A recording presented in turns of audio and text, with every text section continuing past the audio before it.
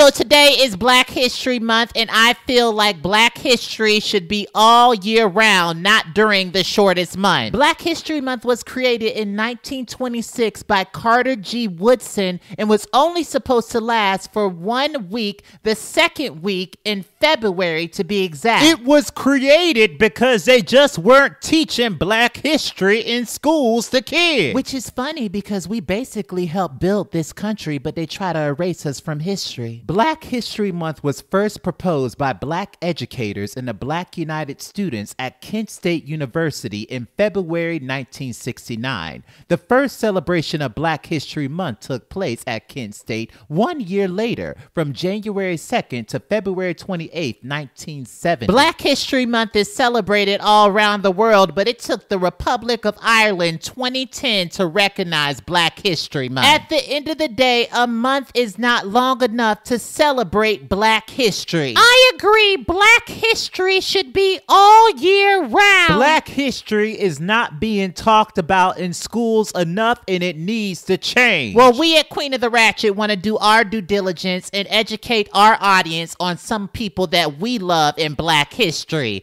Who would you like to hear us do? Comment